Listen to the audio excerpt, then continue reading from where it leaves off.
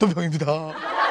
일본 노병은 해박하며 용모 단장하며 영어뿐만 아니라 러시아어까지 능통한 블라드 보스터크 보드카 원샷 아우토케 위스키야 욕 아닌 위스키 오늘 코미디 하우스 어떠셨는지요? 물론 뭐 가장 재밌는 코너는 일본 노병입니다. 누구의 김현철의 일본 노병입니다. 아우, 진짜 재밌지 않습니까? 되게 웃겼지. 오늘 뭐 제가 간단하게 이야기할 코너는 10분 토론입니다.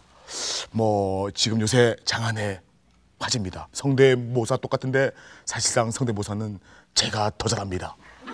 최양락 성대모사 웃기지만 마 별거리야 아, 진짜 똑같지 않습니까? 최양락 씨도 깜짝 놀랐답니다. 별거리야 이거 뭐 똑같다 별거리 네.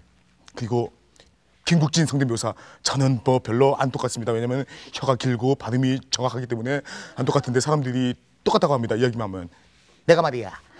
밤새끼 맞아 말이야. 아 진짜 나 진짜 안 똑같은데 똑같다고. 김은국 성대묘사 으아 으아예요 으아 으아예요 으아